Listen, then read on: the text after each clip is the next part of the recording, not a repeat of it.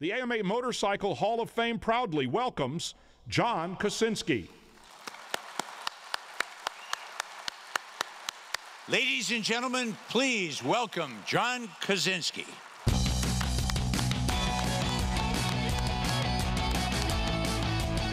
Presenting the AMA Motorcycle Hall of Fame ring tonight is the man who played a fundamental role in capturing 17 world road racing titles, Hall of Fame member Nobby Clark.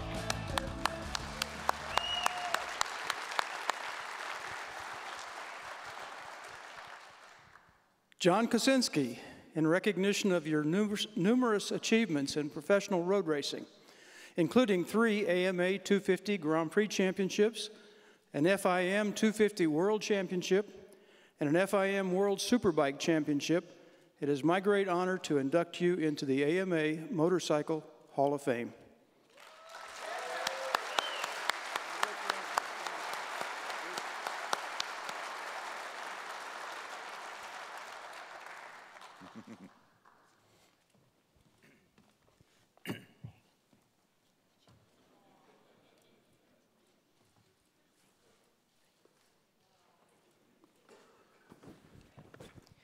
First of all, thank you. Um, it's an honor to be here.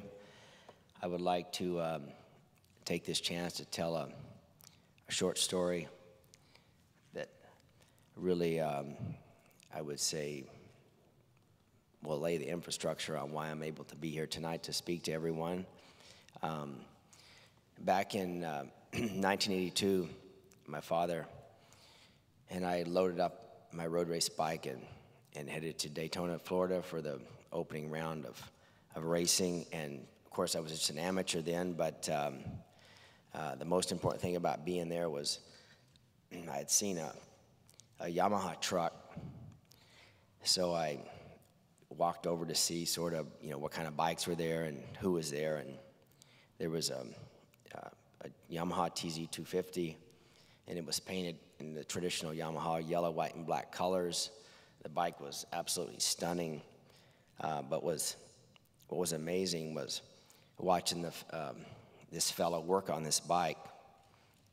Um, I was just really sort of mesmerized by it. Um, so throughout the weekend, I just kept making trips back and forth to watch him. And, and at one point, I thought, wow, you know, the guy's probably going to throw me out or ask me why do I keep coming back. But um, eventually, he said hello. I introduced myself. and he said he was Bud Aksland. Um, when we left there, of course, I had won the amateur race, but I had a couple of things that were troubling. Uh, the first being, I didn't know, you know, how I would ever see him again, and if I would ever see him again. Uh, just due to the fact that you know I live far away, and and he he was working for Yamaha, so it was seemed like almost an impossible thing to ever happen. Um, three years, three years later, I was doing some endurance racing for a, um, for a team, and the team owner said he had had gotten a hold of a motorcycle from Yamaha. It was a TZ, and um, so they brought it to one of the endurance races, and I saw the bike. Um, and the first moment I saw it, I recognized um, the exhaust pipes. and I said to him, I said, um, I'd like to, to race that bike. Uh, unfortunately, I just didn't tell him it was going to be at a national level. So uh, I had gotten the bike from them, took it home, took, and as a 17 year old kid, uh, disassembled this bike and put it together, reassembled it. Um, I just tried to check everything as well as I could with the amount of experience I had. And um, we took the bike uh, to a first national at Mid Ohio. And um, I had finished fourth place there, but the biggest thing about that national was in the practice line, uh, when I was waiting to go out for practice, there was a fella in front of me. Um, he had the name Aksland on the back of his leather suit, and I thought, wow, you know, is that Buddy? I don't think he races. So after the practice, I had wandered around until I found him, and I saw this skinny kid working on this bike, and immediately introduced myself, and, and um, he said he was Chuck Aksland.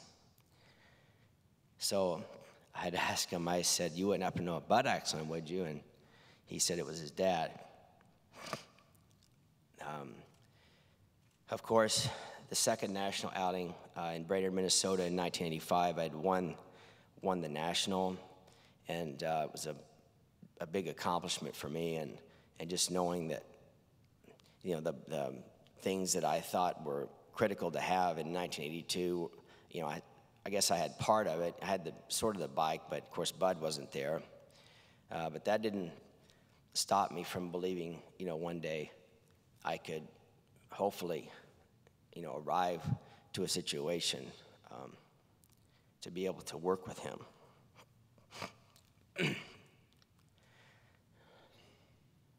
um,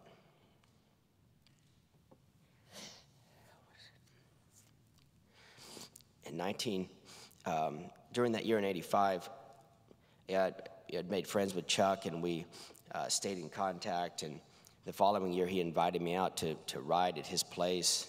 Um, and of course, I jumped at that opportunity and went out there. And, and, um, and while I was there, uh, Chuck actually uh, drove me to the ranch of Kenny Roberts. And, and um, I had met Kenny for the first time. And, and at that point, I just tried to sell myself to him and, and tell him that, you know, basically just beg, beg for some motorcycles to be able to race in 87. Um, and um, um, lucky enough, I guess he bought the sales pitch, and, and I think he organized a team actually about three days before the race. And off we went in a box van, and actually, Nobby Clark was supposed to be the, the, the chief mechanic for me. And down there, we got a we had gotten a call that he had some trouble with the visa and he wasn't going to make it. And um, the next thing I know was uh, was a phone call and, and Bud Aksland was on his way. Um, I, I, couldn't believe it. It was like a dream. And um, I just remember walking up to the practice for the first round of qualifying, and you know, and it was like it was myself in those leathers. It wasn't Jimmy Filice, and um, you know, I was just I couldn't believe that everything that I wanted as you know at 12 years old was actually happening. Um, what led from there was basically three straight championships, which set us up for our greatest challenge, um, and basically my whole racing career and as well as one of my biggest accomplishments, which was the 250 World Championship. Um, but unfortunately, there were a few reasons why that was destined to fail. First thing, Yamaha was 0 for 3 in attempts to beat Honda.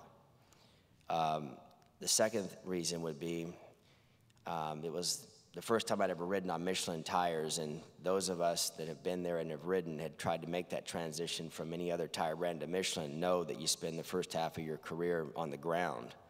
Um, but, um, and the third and final thing, I'd never been to Europe, seen any of the racetracks, and it was, you know, it was seemed like it was really impossible. So we started out and, and we just jabbed at them, you know, for the most of the season. It was amazing that just past the halfway point, we had built up a big lead. And, and unfortunately, my inexperience with the Michelins and not having the right chassis set up, you know, I started crashing a few times, which really set us back. Um, I know that um, in England, um, I had crashed like the third or fourth time, and of course Kenny he wasn't very happy, and and uh, I'll just call it he used a bit of ranch language. But, uh, but the amazing thing was um, when I'd gotten back to the motorhome, Bud Aksland came down and just, you know, he said, you know, don't listen to any of those people. He said, just keep doing what you do best. And that he would make the bike better.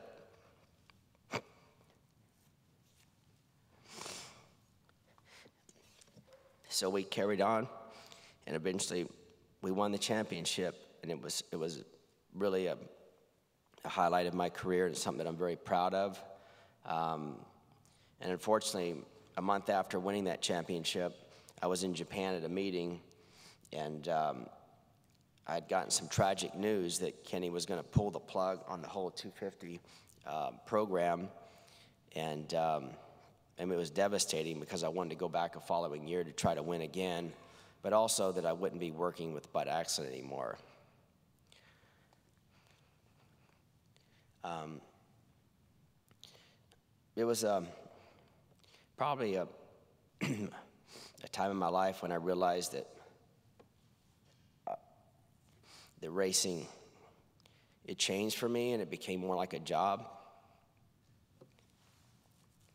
But I just had to do what I felt, um, you know, Bud would be the most proud of, and just soldier on.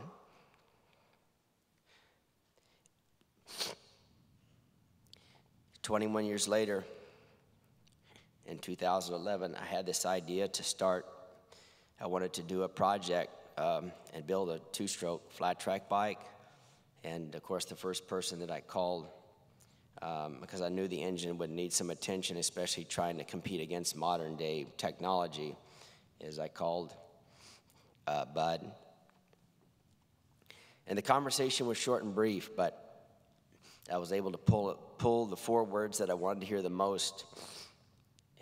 And he said, Send me an engine. Um, what has transpired uh, since that is over 40 short track wins,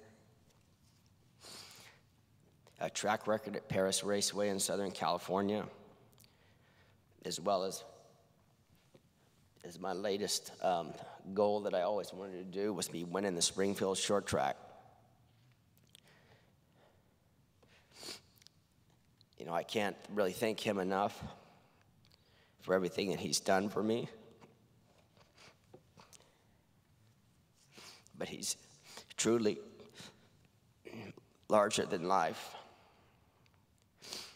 Um, I'd like to thank the AMA for providing me a a world class federation that allowed me to hone my skills first as an amateur, then a professional, and of course on to a world level. Uh, I'd like to thank everybody involved in putting this um, Hall of Fame together. It's, uh, from what I, it's just absolutely amazing, and I'm, i feel honored to be here. Um, I'd like to thank my family, uh, mom and dad, especially you know, for driving all the miles and just supporting me. Um, as we all know, families typically take um, a real beating uh, going through this process, but it's all in fun. But um, but it's still they sacrifice a lot of things. I just want to thank them for that. Um, I'd like to thank um, um, Chuck Aksland. you know, I thought to myself, if the gold, you know, the Golden Gate Bridge being an international landmark, uh, Chuck was definitely uh, my Golden Gate Bridge. Um, you know, he did a lot for me, and, and without him, I never would have made it to the dest- destination that, that I, that I always wanted.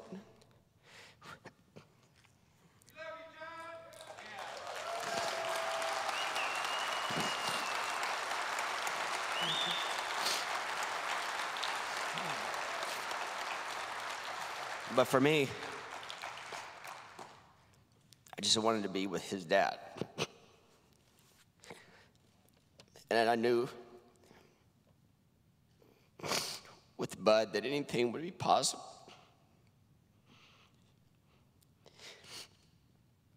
Sorry about that. I just. Um, so, anyway, in closing, like you said, we just like to thank everybody, thank everybody here tonight for. Um, being here to celebrate a special moment for not only myself, but my dad, um, all some people from Arkansas, Paul Covert, and especially my son John. Thank you guys very much.